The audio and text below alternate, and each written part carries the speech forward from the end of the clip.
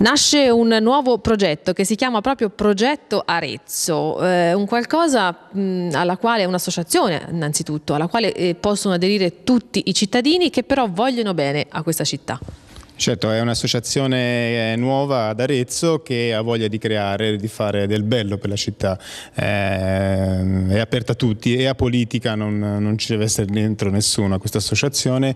Vogliamo eh, stimolare, vogliamo eh, parlare con il comune, vogliamo che eh, questa città riprenda i suoi splendori di una volta. Ecco, perché è nata questa esigenza eh, proprio in questo momento?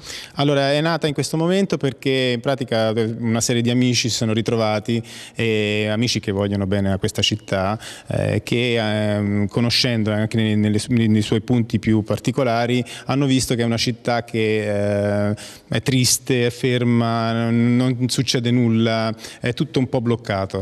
Eh, allora ci siamo detti ma perché iniziamo a fare qualcosa, perché non iniziamo a muoverci noi? No? È tutta gente che viene da esperienze completamente diverse, deve essere un qualcosa che veda lontano, che progetti una città nel futuro e iniziamo a, fare, a pensare anche del bello, ci sono delle cose meravigliose in questa città, ci sono dei personaggi meravigliosi in questa città e vogliamo poi esaltarli, farli vedere, conoscere alla gente che ad Arezzo diciamo chi è Bondi per dire non lo sa nessuno, mentre invece è una figura eccezionale per la nostra città. Come Bondi il manager ovviamente.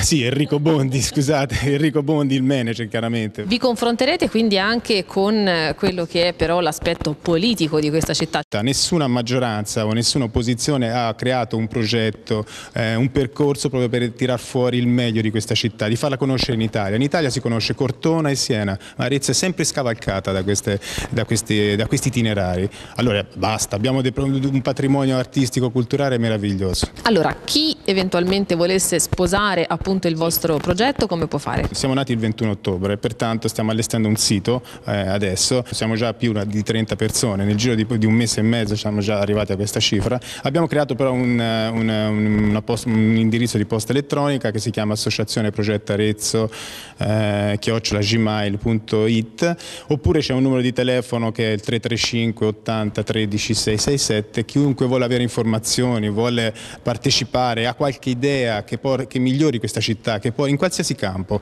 Infatti stiamo facendo anche un, un progetto per le carceri perché all'interno nostro c'è una signora che è molto sensibile sul sociale no? e allora stiamo presentando tutta una serie di iniziative, di idee proprio per eh, sviluppare anche questo argomento qua. Chiunque voglia entrare oppure far parte dell'associazione è aperta a tutti.